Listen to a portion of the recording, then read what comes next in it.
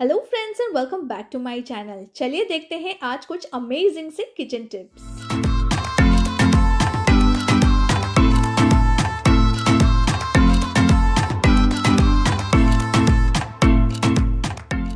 चलिए friends tip number one देख लेते हैं। तो आज मैं आपको हरे चने, यानी कि छोले को कैसे आप झटपट छील सके, इसका टिप दूँगी। एक नहीं, दो टिप देने वाली हूँ। तो हरे चने इस समय बहुत ही फ्रेश मार्केट में अवेलेबल होते हैं। क्या आपके शहर में हरे चने मिलते हैं कि नहीं, ज़रूर मुझे कमेंट करके बताइएगा।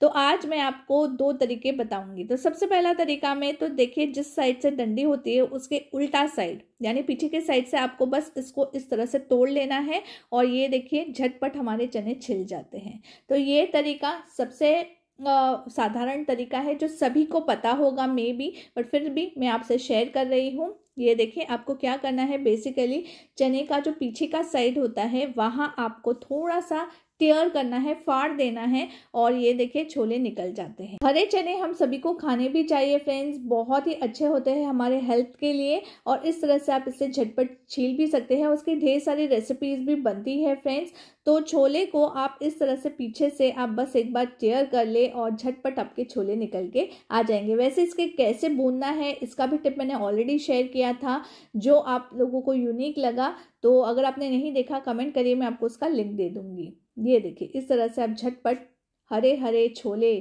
फ्रेश हरे चने को छील सकते हैं। ये देखिए, है ना? बहुत ही आसान तरीका।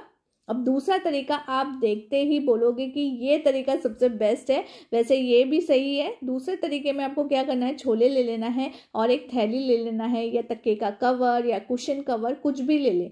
बट इस तरह की का ले ले कि वो तीन साइड से पैक हो। ताकि हमारा जो घर है, हमारा जो किचन है, वो ख़राब ना हो, इसलिए आपको करना है। तो आपको इस थैली में इसको भर लेना है, प्लास्टिक की नहीं, कपड़े की थैली लीजिएगा।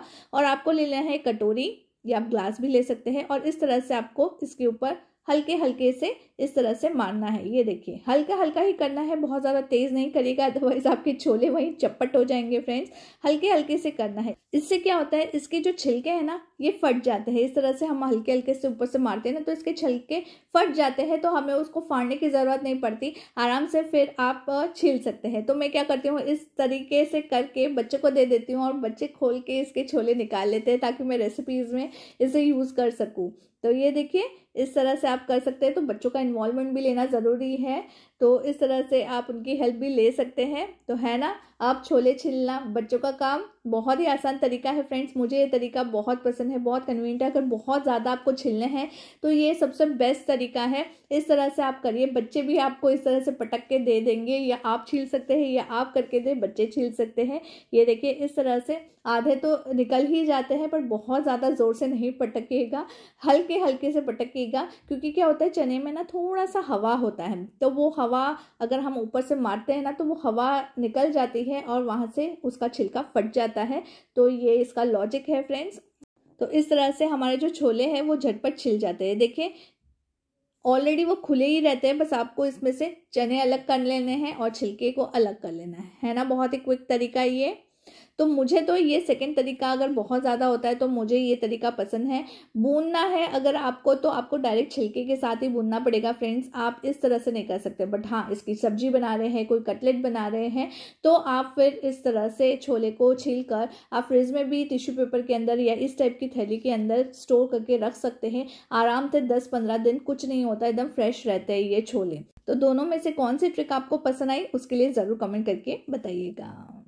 चलिए फ्रेंड्स अगली टिप डेफिनेटली आपको पसंद आएगी और आप सभी के रिक्वेस्ट पे लेके आई हूँ घर पे सस्ते में। कैसे आप मायोनीज बना सकते हैं। जी हाँ फ्रेंड्स मायोनीज बना तो सकते हैं। आप इसे स्टोर करके भी रख सकते हैं पंद्रह से बीस दिन के लिए। तो इसके लिए बड़ा सा ग्लास ले लें। इस तरह से या आप मिक्सी में भी बना सकते हैं। तो यहाँ मैंने आधा कप दूध लिया है, एकदम ठंडा। फ्रिज से निकाला हुआ ठंडा दूध लेना है आपको। इसमें डाल दें नमक स्वाद अनुसार और थोड़ा सा आप शुगर डाल दें। ये भी आप आपके टेस्ट के अकॉर्डिंगली कम ज़्यादा कर सकते हैं। शुगर डाल दिया है मैंने। अब यहाँ मैं हैंड ब्लेंडर का यूज़ कर रही हूँ। इससे रिज़ल्ट अच्छे मिलते हैं। वैसे आप मिक्सी में भी पल्स मोड पे बना सकते हैं। जैसे मैं ब्लेंडर में करूँगी, वैसे ही मिक्सी में पल्स मोड पे करना है। आधा कप ठंडा दूध लिया है तो एक कप हम ऑयल लेंगे। ऑयल और दूध को मिला के ही मेयोनीज बनता है।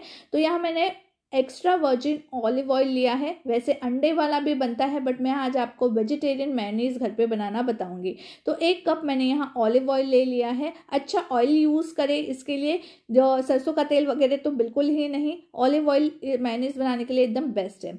अब ऑयल आपको कैसे डालना है ये मैं बताऊँगी। तो आप बड़ा चम्मच ले लें और तीन से चार चम्मच एक टाइम पे डालें। एक साथ पूरा ऑयल डालेंगे ना तो रिज़ल्ट अच्छे नहीं आते, इसका टेक्सचर अच्छा नहीं आता।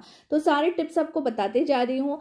अब आप कम स्पीड पे इसे चलाते जाएँ। जब ये अच्छी तरह से मिक्स हो जाए, तभी हमें दूसरी बार का ऑयल डालना है। और ऑयल हमें थोड़ा थोड़ा करके ही डालना है। तो मैं ये फिर से थोड़ा सा डाल रही हूँ। ये देखिए, तीन से चार चम्मच एट अ टाइम डालिए आप। और आप देखेंगे कि दूध है ना इमेसिफाई हो रहा है ऑयल के साथ मिलके, ये दोनों मिलके गाढ़ा होने लगेगा। जी हाँ फ्रेंड्स गाढ़ा होने लगेगा तो थोड़ा सा और ऑयल डाल दिया है। तो ये जो टिप्स है ना, ये कोई नहीं बताता, सब बताते हैं मिक्सी में सारी चीज़ डाल दो, उसको कर लो माइनीज बन जाता है, ऐसे नहीं है, इसका परफेक्ट टेक्सचर चाहिए आपको तो ये सारे टिप्स आपको फॉलो करने होंगे। ठंडा दूध ही लेना है और ऑयल आप अच्छा वाला लीजिएगा। ये टिप्स आप ज़रूर याद रखें। इसे ब्लेंड कर लिया है। जब आधा ऑयल हो जाए, तब उसके बाद आपको एक चम्मच के करीब इसमें सफ़ेद विनेगर यानी सिरका डालना है। अब आप बोलोगे, सिरका डालने से दूध फट जाएगा? ऐसा नहीं होगा फ्रेंड्स क्योंकि दूध हमने ठंडा लिया है। अगर इन केस आपका दूध फट जाए तो आप दो चम्मच और दूध डाल के इसे सही कर सकते हैं। ऐसा नहीं है कि उसका टेक्सचर ख़राब हो जाएगा। आप बस करते जाइए, इसे ब्लेंड करते जाइए। तो इस तरह से थोड़ा थोड़ा ऑयल डालते हुए मैं इसे करती जा रही हूँ, जब तक कि इस, ये एकदम गाढ़ा सा हमें मायोनीज ना मिल जाए। ये देखिए, और नमक और आप चीनी आपके टेस्ट के अकॉर्डिंगली डाल सकते हैं। क्या आप चाहते हैं मायोनीज के और भी फ्लेवर्स की रेसिपीज़ में लेके आऊँ वीडियो लेके आऊँ तो ज़रूर मुझे कमेंट करिएगा। उस पर भी मैं वीडियो जल्दी लेके आऊँगी। बहुत ज़्यादा फ्लेवर के मायोनीज आजकल मिलते हैं फ्रेंड्स तो अगर आप चाहते हैं तो मैं उस पर भी वीडियो लेकर आऊँगी। तो मैंने सारा ऑयल फाइनली डाल दिया है और ये देखिए एकदम गाढ़ा सा हमारा जो मायोनीज है, ये ऑलमोस्ट बन के रेडी है। देख सकते हैं इसकी कंसिस्टेंसी आपको तब तक इसे चलाना होगा जब तक कि आपको लगे कि इसकी कंसिस्टेंसी एकदम परफेक्ट ना आ गई हो। ये देखिए, दिख रहा है आपको? क्या परफेक्ट स्मूथ टेक्सचर आया है फ्रेंड्स और इसे आप फ्रिज में रखेंगे ना तो थोड़ा सा और गाढ़ा हो जाएगा। बट ये कंसिस्टेंसी एकदम परफेक्ट है। सैंडविचेस के ऊपर पिज़्ज़ा में पास्ता में, सब में आप इसे यूज़ कर सकते हैं। मैं तो इसे चिप्स के साथ ज़्यादा खाना प्रेफर करती हूँ। मेरे घर पे मायोनीज आए दिन ख़त्म हो जाता है। तो अब अगर आपके घर पे मायोनीज ख़त्म हुआ है, कोई गेस्ट आए हैं तो आप इस तरह से इंस्टेंट भी बना सकते हैं। तो नाचोस के साथ एकदम परफेक्ट और टेस्टी लगते हैं। ये देखिए, एकदम गाढ़ा बना है। देख रहे हैं, बिल्कुल भी ड्रिप नहीं हो रहा है इस टाइप की कंसिस्टेंसी का जब तक ना आ जाए, तब तक आपको इसको ब्लेंड करना होगा। तो है ना, ये बहुत ही आसान तरीका मैनीज बनाने का और इसे आप फ्रिज में स्टोर करके रख सकते हैं 10 से 12 दिन के लिए। कैसी लगी आपको ये टिप ज़रूर कमेंट करिए तो फ्रेंड्स, आज की आपको कौन से टिप पसंद आई उसके लिए ज़रूर कमेंट करिएगा और आगे आप कौन से टिप देखना चाहते हैं उसके लिए भी कमेंट करिएगा। तब तक के लिए फ्रेंड्स लाइक भी कीजिए शेयर भी कीजिए और सब्सक्राइब कीजिए मेरे चैनल को। चल दैन टेक केयर बाय